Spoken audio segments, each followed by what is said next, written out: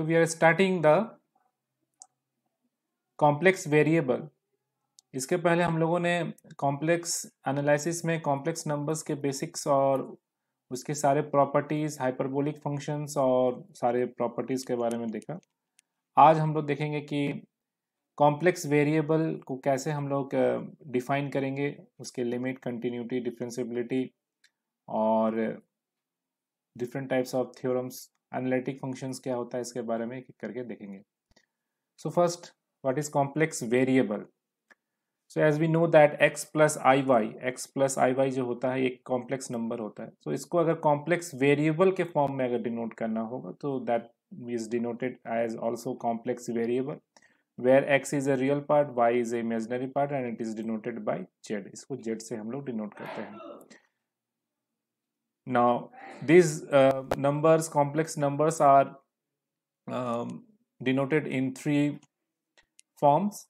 z is equal to x plus iy, which is called Cartesian form. z is equal to r cos theta plus i sin theta, it is the polar form.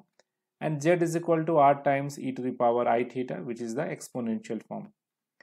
Now, um, this is the geometrical representation of uh, Cartesian form and polar form okay now what is the function of complex variable so the function of fz is a function of complex variable where z is denoted by w मतलब z जो है वो एक complex number है और उसको अगर function के रूप में अगर हम लोग यहाँ पर डिनोट करें where f of z where z is a complex number then w represent the uh, w represent the complex variable so w is equal to अब w को हम लोग लिखेंगे u प्लस आई वी ये notation ही अब हम लोग आगे यूज़ करेंगे where the u and v are the real and imaginary part of f z f z जो फ़ंक्शन है, अब ये, अब यहाँ पे कॉम्प्लेक्स नंबर नहीं रह गया कॉम्प्लेक्स नंबर अब हो गया कॉम्प्लेक्स फ़ंक्शन ठीक है फ़ंक्शंस जैसे हम लोग पढ़ते थे, पहले फ़ंक्शन पढ़ते थे तो हम लोग अभी तक रियल फ़ंक्शंस के बारे में बात करते थे रियल फ़ंक्शंस के कंटिन्यूटी के बारे में बात करते थे,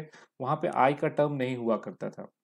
रियल फ़ंक्शन के डिफ्रेंसिएशन के बारे में बात करते थे रियल फ़ंक्शंस के इंट्रीगेशन के बारे में बात करते थे। लेकिन अब हम लोग जो फाइन करेंगे, यहाँ पे जो जेड होगा, वो कॉम्बिनेशन होगा real as well as complex imaginary part तो अब हम लोग कॉम्प्लेक्स नंबर जो फ़ंक्शन है, उसके डिफ्रेंसिएशन इंट्रीगेशन लिमिट कंटिन्यूटी इसके बारे में बात करेंगे। So this is generally denoted by u plus i v where u is the real part of f z ये फ़ंक्शन ऑफ़ एफ़ जेड का रियल पार्ट है and v is the imaginary part of f z f z जो function है, जो complex function है, उसका real part है you और उसका इमेजनरी पार्ट है v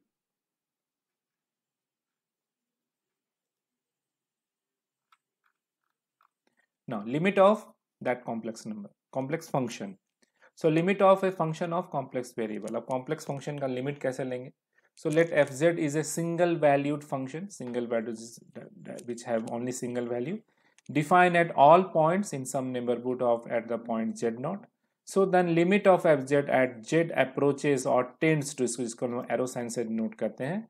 So z approaches to z naught which is denoted by W naught मान लेते हैं कि जो एफ़ जेड है, जिसका जेड का वैल्यू जेड नॉट के वैल्यू के और नेबरिंग एक पॉइंट है जेड के साथ में। ये एक, अगर हम कोई भी कॉम्प्लेक्स प्लेन ले लें तो यहाँ पे जेड है और इसके नेबरिंग पॉइंट लेफ़्ट साइड या राइट right साइड कहीं भी हो सकता है। जेड का वैल्यू जेड नॉट की ओर अप्रोच कर रहा है जेड का। अप्रोचिंग में हम लोग लिमिट यूज़ करते हैं और लिमिट यूज़ करने के बाद उसमें टेंस टू का फॉर्म यूज़ करते हैं। और उस जगह पे इस फ़ंक्शन जो यहाँ पे एफ़ जेड था, जिसका वैल्यू डब्ल्यू था, अब यहाँ पे जब गया तो इसका वैल्यू क्या हो गया? डब्ल्यू नॉट हो गया। So the limit of F Z at Z approaches Z naught which is denoted by W naught and it is written as limit Z tends to Z naught F Z is equal to W naught यहाँ पे याद रखना है F Z is not a real quantity it is the combination of real as well as imaginary ये एक complex variable है या complex function है। नाउ जब हम लोग ने लिमिट डिफाइन कर लिया तो इसका कंटिन्यूटी को भी डिफाइन करेंगे। सो द एफ़ जेड जैसे हम लोग पहले करते थे, वैसे ही सेम टू सेम यहाँ पर भी वही सेम चीज़ डिफाइन होगा। The function f z of a complex variable z is said to be continuous at the point z naught if for any given positive number epsilon we can find a number delta such that fz minus fz naught मतलब z पे और z not पे value दोनों का modulus मतलब positive value is less than epsilon for any all point of z of the domain satisfying this condition z minus z naught less than delta so fz is said to be continuous at z is equal to z naught if limit z is fz f tends z tends to z naught is equal to f of z naught दोनों पे। ये value अगर same हो तो हमारा continue continuous function इसको हम लोग कहेंगे या फिर this is the continuous at z is equal to z naught इस पॉइंट पे। ना continuity in terms of real and imaginary part real and imaginary part में हम लोग कैसे डिफाइन करेंगे? सो so, हम लोग जानते हैं कि W is equal to f z define किए हैं और U uh, जिसको एफ़ जेड को हम लोग दो पार्ट में डिफाइन करते हैं, एक रियल पार्ट और इमेजनरी पार्ट तो रियल पार्ट में u x y plus i v x y x और वाई दोनों का फ़ंक्शन हम लोग लेके चल रहे हैं। Is the continuous function at z is equal to z naught where u x y and v x y हम जानते हैं कि यू एक्स वाई जो है रियल पार्ट है और वी एक्स वाई क्या है? इमेजिनरी पार्ट है। सो यू एक्स वाई और v x y are separately continuous ये अलग अलग अपने में भी कंटिन्यूस है। Function of x y at कहाँ पे? एक्स नॉट और वाई नॉट पे where z naught is equal to क्या हो जाएगा? जब हम लोग जेड का वैल्यू जेड नॉट पर लेंगे तो वहाँ पर भी एक्स का वैल्यू क्या हो जाएगा? X naught plus i y naught conversely if ये फ़ंक्शन हो जस्ट इसका कन्वर्स हम लोग क्या लिखेंगे? कि if u x y and v x y are continuous functions of x y at x naught y naught then f z is continuous at z is equal to z naught just is equal to शुरू में हम लोग लिए थे कि Z to Z not पे ये continuous है तो z naught is equal to x naught plus i y naught होगा। और कन्वर्स में कि अगर जेड नॉट का value x naught plus i y naught होगा then f z is continuous at z is equal to z naught just इसका उल्टा opposite these are the definition of continuity of complex variable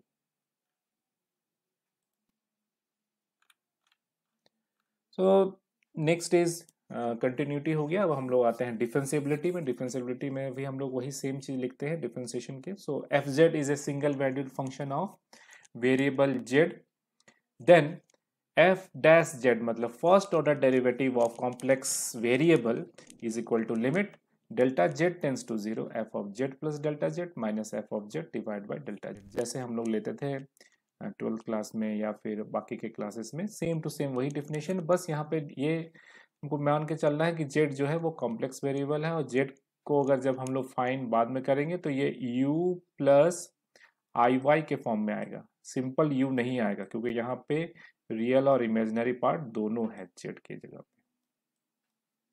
ठीक है? So provided that limit exist limit exist करने का मतलब left hand limit right hand limit दोनों exist करे, लेकिन डिफेंसिबिलिटी है तो लेफ़्ट हैंड डेरिवेटिव और राइट हैंड डेरिवेटिव दोनों एग्जिस्ट करना चाहिए।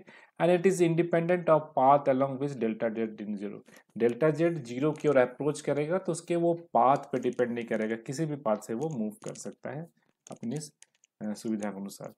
So if p is a fix point अगर हम मेरा एक पी है, यहाँ पे फिक्स्ड पॉइंट है, जिसका कोऑर्डिनेट है या फिर फ़ंक्शन है एक्स का and q is the neighbouring point q इसका नेबरिंग पॉइंट है जिसका कोऑर्डिनेट हो जाएगा x plus delta x so q may be approach p along any straight line और कर्व पाथ मतलब पी से हम सीधे भी जा सकते हैं, इस तरह से कर्व लाइन से भी जा सकते हैं, किसी भी पाथ से हम लोग जा सकते हैं इस क्यू तक जाने के लिए।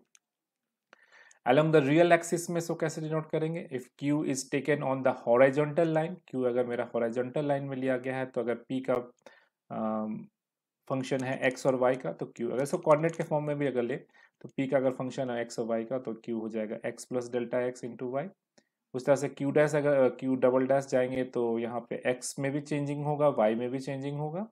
और यहाँ पे अगर जाएँगे तो ये सीधा सीधी वाई एक्सिस में गया तो एक्स अनचेंज हो क्योंकि यहाँ से हम सीधे यहाँ जा रहे हैं. तो क्यू डैश में अगर जाएँगे तो हम लोग का वाई चेंजिंग होगा वाई प्लस डेल्टा वाई और चूँकि यहाँ पे हम लोग गए हैं तो इस q dash q double dash पे हमारा एक्स और वाई दोनों चेंजेस होगा। Now, along the imaginary axis, if q is taken on the vertical line, then p and q approaches p along this line. And along a line y is equal to x, then q is taken on the line y is equal to x पे ये हमारा change होगा। मतलब y, ये वाला line जो है, y is equal to graph plot करेंगे तो y is equal to x का ये लाइन रहता है तो यहाँ पे हम लोग यहाँ पे पहुँच जाएँगे। तो ये जनरल डिफिनेशन है। जनरल नोटेशन है इसके बारे में। ना सबसे इंपॉर्टेंट इसमें कि continuity is a necessary condition but not a sufficient condition for the existence of finite derivative मतलब कंटिन्यूटी होना ज़रूरी है। इसका कहने का मतलब कि जितना भी डिफरेंशिएबल फ़ंक्शन है, जैसे मान लो कि एफ़ जेड है, ये मेरा कॉम्प्लेक्स जैसे उसमें पढ़ते थे सेम टू सेम इसमें भी कि एफ़ जेड मेरा एक कंटिन्यूस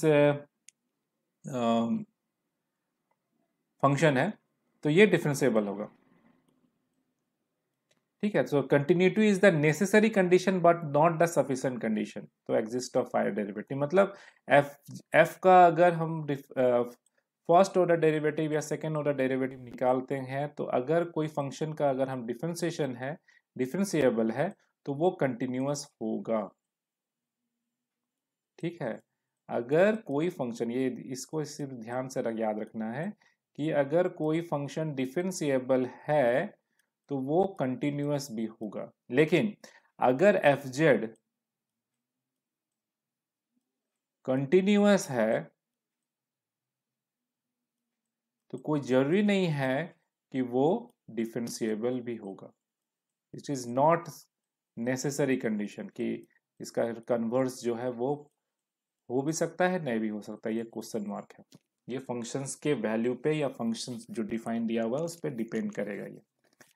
अब आते हैं ये सारे चीज़ को डिफाइन करने के बाद हमारा सबसे इम्पोर्टेंट है। ये बहुत ही यूज़ होता है और इस पर हमारा थ्योरम भी है। That is what is analytic function so So a function fz is said to be analytic at a point z naught if f is differentiable not only at z naught, but every point of some neighborhood of z naught. मतलब z naught पे तो differentiable हो, उसके आसपास का neighbouring neighbour neighbouring point जितने भी होंगे, उस पर भी वो डिफरेंशिएबल होना ज़रूरी है। So f z is analytic in a domain domain हम लोग जानते हैं जितने भी वैल्यूज़ होते हैं जितने भी पॉइंट्स होते हैं। So if it is analytic at every point of the domain domain कहने का मतलब कि जो हमारे points given sets of points दिए हुए हैं उस सारे पॉइंट्स का कॉम्बिनेशन को हम लोग डोमेन कहते हैं उसका जो वैल्यू आता है उसको हम लोग रेंज कहते हैं जो हम लोग फ़ंक्शन में देख चुके हैं। सो so, डोमेन में अगर वो फ़ंक्शन है तो वो अगर एनालिटिक है तो वो वहाँ पे क्या होगा? डिफरेंशिएबल होगा। The point at which the function is not differentiable is called singular point जिस पॉइंट पे वो ये भी ये चीज़ याद भी याद रखना क्योंकि प्रॉब्लम्स में बहुत ये कंफ्यूज होता है स्टूडेंट की what is analytic function what is singular points so singular points are those points where the function is not differentiable जहाँ पे वो डिफ्रेंसिएट नहीं हो पाएगा। So an analytic function is also known as कहीं कहीं पर इसका नाम अलग अलग नाम भी है दट इज़ होलोमोर्फिक रेगुलर और मोनोजेनिक फ़ंक्शन भी इसको हम लोग कहते हैं। ठीक है अनालैटिक फ़ंक्शन का ये अलग अलग नाम है। Next is entire function entire function किसको कहते हैं? So a function which is analytic everywhere for all z in the complex plane is known as an entire function इसको हम लोग इंटायर फ़ंक्शन भी कहते हैं जहाँ पे सभी जगह पे ये आ, क्या हो? एनालिटिक एनालिटिक कहने का मतलब डिफरेंशिएबल एग्ज़ाम्पल में ऑल पोलिनोमियल्स रैशनल फ़ंक्शंस जितने भी रैशनल फ़ंक्शंस है पोलिनोमियल्स के दे आर इंटायर बट यहाँ पे एग्जांपल देख रहे हैं mod of z square is differentiable only at z is equal to zero so it is nowhere analytic ये एनालिटिक फ़ंक्शन नहीं है, क्योंकि सिर्फ़ z is equal to zero पे ही ये डिफरेंशिएबल होगा। बाकी दूसरे पॉइंट्स पे ये डिफरेंशिएबल नहीं हो क्यों? पॉजिटिव नेगेटिव वैल्यू के लिए इसका वैल्यू अलग अलग जगह पे अलग अलग आएगा। इसके बाद कुछ इस पे थ्योरम्स है, या प्रॉपर्टीज़ भी हम लोग कह सकते हैं इंटायर फ़ंक्शन का, कि an entire function is always analytic differentiable and continuous function but converse is not true converse करने का मतलब जो फ़ंक्शन डिफरेंशिएबल है एनालिटिक है कंटिन्यूस है अलग अलग तो वो इंटायर फ़ंक्शन नहीं होगा। सेकेंड प्रॉपर्टी कहता है कि analytic function is always differentiable and continuous but converse is not true that means every analytic function जो है वो डिफरेंशिएबल भी होगा और कंटिन्यूस भी होगा। लेकिन कोई continuous function single continuous function या सिंगल डिफरेंशिएबल फ़ंक्शन एनालिटिक होना ज़रूरी नहीं है। फ़ंक्शन पे वो डिपेंड करेगा। Number three a differentiable function is always continuous differentiable function जो है, हमेशा कंटिन्यूअस होगा, लेकिन कन्वर्स इज़ नॉट ट्रू मतलब सारे के कॉम्बिनेशन हम लोग लिख दिए कि हर, सारा डिफरेंशिएबल फ़ंक्शन जो है, वो कंटिन्यूअस होगा, लेकिन हर कंटिन्यूअस फ़ंक्शन का डिफरेंशिएबल होना क्वेश्चन मार्क है। ये उसके प्रॉपर्टी या फिर फ़ंक्शन के नेचर पर डिपेंड करेगा कि कौन सा फ़ंक्शन हमारा दिया हुआ है। अब इस एनालिटिक फ़ंक्शन को अगर हम लोग अच्छे से समझ गए तो इस पर हम एक हमारा बहुत ही इंपॉर्टेंट थ्योरम है। आज हम लोग थ्योरम का सिर्फ़ नेसेसरी एंड सफिशिएंट कंडीशन को देखेंगे और इसके प्रूफ को हम लोग नेक्स्ट क्लास में देखेंगे। सो so, हमारा जिसको हम लोग कहते हैं कॉची राइमन इक्वेशन भी इसको कहते हैं। So what is the necessary condition for इसको हम लोग नेसेसरी सफिशियंट कंडीशन भी कह सकते हैं। दोनों को मिला के भी कॉम्बिनेशन के फॉर्म में भी लिख सकते हैं, लेकिन हम इसको अलग अलग कर दिए हैं। So what is the necessary condition f z to be analytic so the necessary condition for a function f z is equal to u plus i v to be analytic at all the points in a region r r क्या होगा? Dou u by dou x partial differentiation of real part of u मतलब fz? u हम लोग जान रहे हैं। fz को हम लोग लिख रहे हैं किस फॉर्म में? यहाँ तो है। एफ़ जेड को लिख रहे हैं रियल पार्ट और इमेजनरी पार्ट में। So partial differentiation of do u by do x is equal to ये याद रखना पड़ेगा क्योंकि इस पे प्रॉब्लम्स बहुत हम लोग बनाएँगे। Do u by do x is equal to do v by do y and do u by do y is equal to minus do v by do x provided बाकी से ये सारे जो है एग्जिस्ट करने चाहिए, इसका वैल्यू हम निकाल सके। सेम सफिशियंट कंडीशन भी सेम टू सेम है रीजन आर पे हो। Do u by do x को हम लोग लिखते हैं यू एक्स अगर यू एक्स कहीं दिया हुआ है, इसका मतलब है कि वो do u by do x है, ये अलग अलग नोटेशन है। डो भी बाई डो वाई को हम लोग लिखते हैं वी वाई उसी तरह से do u by do y को हम लोग लिखते हैं यू वाई और minus do v by do x या do v by do y को सॉरी ये वाई है यहाँ पे ना यहाँ पे एक्स होगा सॉरी यहाँ पे इसको चेंज कर लेना है ये एक्स होगा. So minus do v by do x so it is minus of v x ये चेंज कर लेना है ये एक्स होगा यहाँ पे. सो so, ये हमारा कॉम्प्लेक्स नंबर से अब हम लोग आ गए कॉम्प्लेक्स वेरिएबल पे कॉम्प्लेक्स फ़ंक्शन पे आ गए अब इस कॉम्प्लेक्स फ़ंक्शन पे हम लोग ने देख लिया आज के में कि किसको कंटिन्यूस कैसे करें what is the continuous condition what is the differentiable condition and what is the analytic function entire function क्या कहते हैं, उसका क्या क्या प्रॉपर्टीज़ है। ऑब्जेक्टिव के लिए बहुत सारे यहाँ पे हम लोगों ने प्रॉपर्टीज़ को भी देखा। और सबसे इंपॉर्टेंट हमने थ्योरम को देखा that is Cauchy Riemann equation Cauchy Riemann equation को नेक्स्ट क्लास में हम लोग इसको डिस्कस करेंगे। उसके प्रॉपर्टीज़ को समझेंगे, कैसे किसी फ़ंक्शन को हम लोग डिफ्रेंशिएट कर सकते हैं पार्शल डिफ्रेंशिएशन कैसे निकाल सकते हैं। और फिर उससे रिलेटेड बहुत सारे प्रॉब्लम्स सॉल्व करेंगे ताकि वो हमारा बहुत अच्छे से सॉल्व हो जाए, क्योंकि इससे प्रॉब्लम्स आते हैं कॉची रायमैन इक्वेशन से।